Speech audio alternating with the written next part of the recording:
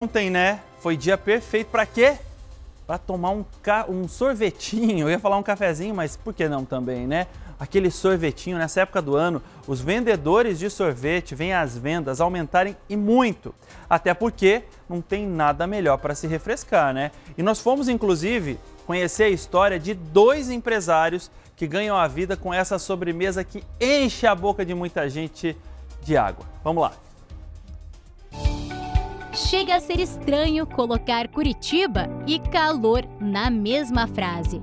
Mas o fato é que nos últimos dias isso se tornou comum. No lugar do frio do Janho, veio aí calorzão do Janho. Para se refrescar nesse calorzão, o negócio é procurar sombrinha, tomar uma água. Se for no sol, fazer aquele ventinho, mas o que todo mundo quer mesmo e que todo mundo gosta, eu aposto, é tomar um sorvetinho mesmo que quebre a dieta. E o melhor, olha só, é se for na porta de casa. Isso porque o Jefferson traz a solução, ó, na praticidade para todo mundo. É só parar, chama ele, ele para aqui e a gente já compra a solução para esse calor do janho que está fazendo aqui no nosso estado e no Brasilzão. Jefferson, me conte o que, que você tem aí de bom, me mostra. Picolés de leite e de frutas. Olha só, o pacote completo? Isso, cada pacote vende, vende sim, seis reais cada pacotinho de leite e cinco reais o de fruta. Perfeito, e me diga uma coisa, faça aí como bom vendedor, qual que é melhor? Leite. O Jefferson resolveu começar quando se viu desempregado e agora já faz mais de oito anos que trabalha como vendedor ambulante. Eu estava desempregado e conversando com a mulher sem saber o que fazer para arrumar dinheiro para pôr dentro de casa. E nisso me passa um carro do sonho. E nós tínhamos recém comprado o carro, endividado para pagar o carro. E falei para ela, vou vender sonho, picolé, o pessoal vende. Se não vendesse, ninguém saía na rua vender, né? No calor, a gente faz o pedido de picolé. E já aproveita as férias das crianças, tudo. Na entrada do inverno, a gente sempre está de olho no clima. Temos que assistir vocês para saber como que tá o clima, né? E daí a gente já muda, não, amanhã vai estar tá frio, vamos pegar sonho, vamos pegar. E assim a gente vai se organizando, né? Mas me diz qual é o maior sucesso, o que, que vende mais? Ah, no verão é picolé, não, não, não existe. É, a, o, a receita é as crianças estar tá em casa. Ele trabalha de segunda a segunda, sempre com a meta de alcançar uns 300 reais por dia. A gente começa segunda-feira mais devagar e vai aumentando a quantidade conforme vai chegando o fim de semana, né? E eu pretendo, eu tento estar cada dia num bairro. Para que a maioria das pessoas já compraram aqui ontem, compraram bastante, então elas acabam, hoje fica um lugar mais fraco. Então eu acabo indo por Capão Raso, é, Santa Felicidade e outros bairros aqui de Curitiba. E com esse calorzão, não podia ser diferente. As vendas aumentaram. Nossa, fiquei muito surpresa. Eu não esperava tanto calor. A gente sempre tem, tô, faz muitos verões que eu vendo e olha, faz anos que eu não vejo um verão assim. Quer dizer, na verdade, nunca vi um verão como esse. E para os vizinhos, essa praticidade faz com que seja impossível recusar um picolé. Vamos combinar que é uma tentação mesmo. A gente compra de três, quatro pacotes, que se comprar um não adianta. Não vence. E a, criança, a criançada gosta? Gosta, e é muito bom. Hoje é essa renda que sustenta a família de Jefferson. Por isso, quanto mais calor, melhor. Venham correndo, carro do picolé que está passando. Venha aproveitar já já. Mas no geral, quem vende sorvete não só na rua tá fazendo sucesso, viu?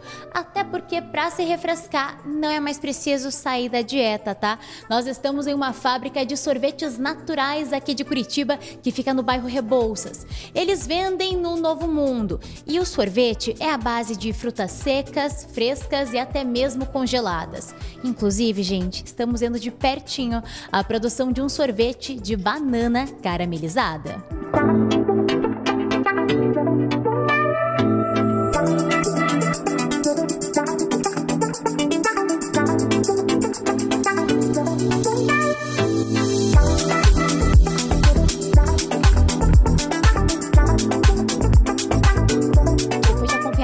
Pertinho a produção do sorvete. Eu nunca tinha acompanhado uma experiência como essa. Gostei, viu? O cheirinho aqui. Hum, pena que TV não tem cheiro, tá? Mas eu tô aproveitando aqui, não vejo a hora de provar. Mas antes, eu quero entender. Alisson, geralmente vocês fazem de um dia para o outro, é sempre tudo bem natural e feito por vocês. Tudo natural. Nós utilizamos as frutas ou as suas é, polpas congeladas na elaboração dos processos para deixar ele bem natural, sem conservantes, sem aditivos químicos, sem saborizantes artificiais. E agora, gente, eu quero saber, tá? Quero, quero pedir aí no, no segredo aqui para ele. A gente que tá de dieta, já que é natural, dá para se jogar um pouquinho mais ou não? Como é que é? Com certeza dá. Isso aqui, ó, veja, é a massa da banana com a mistura de açúcar de cana, com açúcar do milho e o açúcar da batata para dar textura sem dar muito é, açúcar no sorvete. Dá para se jogar, minha gente. Então eu vou me jogar para deixar vocês de casa com vontade. Vamos provar. E só antes, tudo isso tem lá na loja, né? Tem lá na loja também. Temos loja, nos potes, nas nossas distribuições. Então a gente fica aqui na fábrica provando, mas segura aí que num piscar de olhos eu tô lá, tá bom? E eu falei que em um piscar de olhos já estaria aqui na loja. Estou pronta para conhecer a Cremidor, como é toda a fabricação, conheci um pouquinho. E agora eu quero ver onde o pessoal vem se deliciar, né? Que eu tive o privilégio de conhecer, mas é aqui que todo mundo toma, se refresca, enfim, nesse calorzão de Curitiba, o sorvete. Agora eu quero saber, Alisson, vamos entender melhor quando que começou essa história de fazer sorvete natural? Ah, tem origem já nos meus pais, né? Meus pais trabalhavam com isso, aí eles passaram para mim essa parte e nós resolvemos modificar para a parte natural. E me fala, quais sabores vocês têm? Qual que é o sucesso de vendas? Um dos nossos sucessos são um creme de baunilha com uma geleia de frutas vermelhas, que ele vai amora, framboesa, blueberry, né? E essa mistura dessa azedinho com o creme, ele tem chama muita atenção. E um outro sabor é um de maracujá. Tem até para o Natal? Tem até para o Natal, estamos lançando agora o, choco, o panetone, que ele é a base do, do sorvete, é panetone. Então ele é um sabor muito gostoso. Faz pouco tempo que criaram a sorveteria, mas o sucesso já é garantido, ainda mais nesse calor. A demanda teve um, uma, uma alavancada considerável por causa do calor, né? Nós não estamos acostumados a um calorão desse aqui em Curitiba. E então a demanda por produtos, é, principalmente quando naturais, mais saudáveis nesse calorão, teve grande aumento para nós. Até porque a sorveteria, que é de bairro, não atende apenas os moradores, mas principalmente quem trabalha na região. Ah, é ótimo. A gente só atravessar a rua, já está aqui, sorvete natural, que é o mais importante, né? E sorvete delicioso. Eu sou, eu gosto mais dos naturais e frutas, mas é ótimo. Qual que é teu favorito?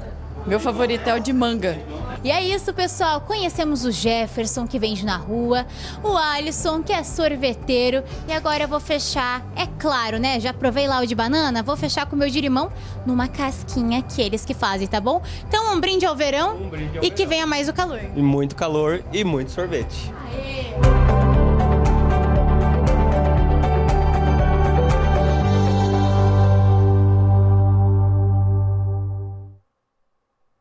Fernanda, só não vou falar nada, porque a gente passou muito bem com pãozinho com manteiga hoje aqui, viu? A loja que a gente viu aí, a fábrica e loja que nós mostramos na reportagem, ela é a Cremidor Sorvetes, que fica na rua Laudelino